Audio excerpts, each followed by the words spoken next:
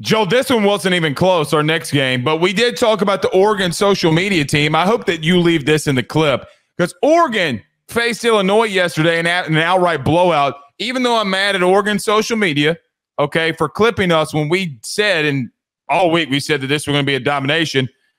Actually, it was. Oregon dominates Illinois 38 to 9. Your thoughts? Well, obviously, one of the things that we talked about in this preview, why we were so confident that Oregon was going to kick the crap out of them is that their defensive line is so good and that Illinois did not have the O line to protect Luke Altmyer and to run the ball. This is just another opportunity to remind us that this Oregon team, they they got all the energy that they need at the right time. You don't want to be that team that peaks in week three. Tennessee's a great example of that. Everybody was crowning them national champions, including us no, on this show. Oh, no. no, no, no, no. Okay, hold on. Let me rephrase. We were hyping them up quite a bit, though. We were hyping them quite a bit. We thought and that they could be an. They SEC had 800 yards of offense. What do you want me to do? I'm. That's not the point. I'm trying to say here, though, is that there's plenty of teams that peak early and then fall off. Ranked team at home, see the opportunity to completely smother and dominate your opponent, get in and out, move on to the next game. This Oregon team, despite a first couple of weeks with some new faces, Evan Stewart comes in, Dillon Gabriel comes in. We're working out, we're figuring out what are all the issues, how can we fix this, what works best. They figured it out, it feels like. It feels like they know what they need to do to smoke everybody that they face off with. I'm in on this Oregon team. The more that I see performances like this against a good Illinois program, not saying they're great, but a good Illinois program that was rankable and competitive and a tough out for everybody that they played up until that point. This is a reputable, strong win. And again, I continue to be impressed by Oregon. Joe, they dominated on the ground. Something that you know, if if if you're if you and I are having a conversation about Oregon three or four weeks ago and they couldn't run the football, Joe, they lined up against a really tough Illinois front and ran it right at them and busted their ass. I mean, the turnovers, the the the just absolute will to just run over your opponent. Joe, you're right. They are leaning on teams. And to be real with you, it also goes in the in the sense of Joe, I got to be real with you. Outside of Cam Ward, the second most reliable quarterback in the country is Dillon Gabriel. And it's not remotely close. Dillon Gabriel, 18 of 26, 291. He had three touchdowns, Joe, but I know he had the pick. Okay. Uh, overthrow, whatever, timing bad, whatever. He went off too. So not only are they running the football and running it down a team's throat, Joe, I, I, like I go into a game expecting Dillon Gabriel. I have confidence in him that he's going to make the right decisions, that he's going to make the right plays. Now, Joe, I look at them, and especially in this game defensively, Luke Altmyer was seeing ghosts out there like he was Sam Darnold, okay, four years ago. 17 to 35, 161, and two touchdowns. I mean, two interceptions.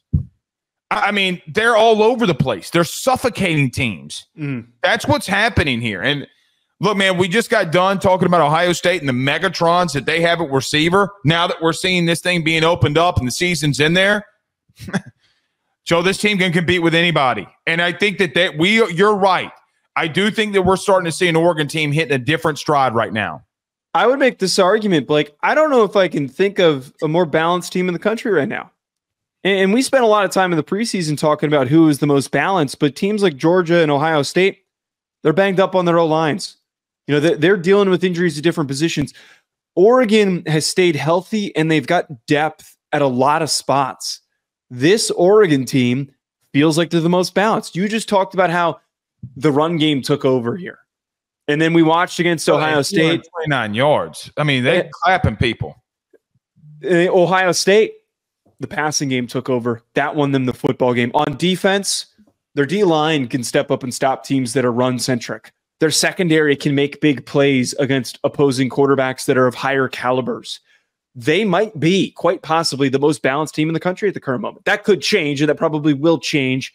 Other teams are going to catch up, like Georgia, uh, that we've been hyping up a ton lately. But this Oregon team, I, I, I mean, I'm going to sound like a broken record. I keep getting more and more impressed by how they not only win, but just kick the shit out of everybody that they play. Georgia of the West. We said, but anyone who thinks we're Oregon haters, go find the, the, the Dan Lanning National Signing Day video that we did, where the headline literally was, "Is this SEC West?" One thousand percent.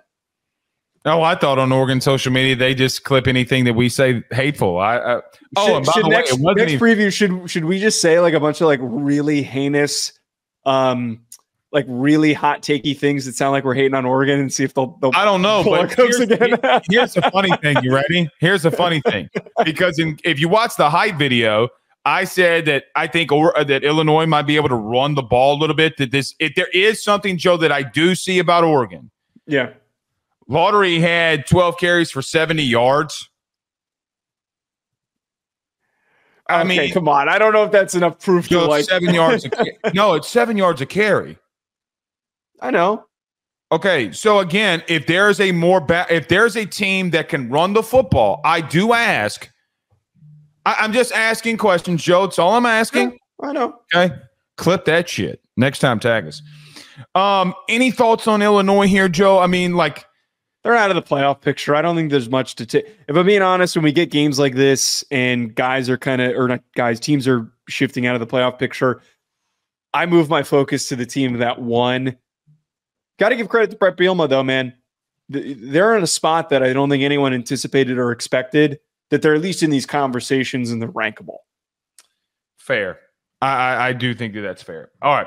BetOnline remains your top spot for all of your live betting action and contests. NFL, college football, UFC, NHL are all in full swing. BetOnline is your number one source for wagering news, odds, trends, and predictions with both desktop and mobile access at any time. Head to BetOnline today and use promo code BLEAV. That's B L E A V for 50% off your first deposit. That is a 50% welcome bonus. Bet online where the game starts.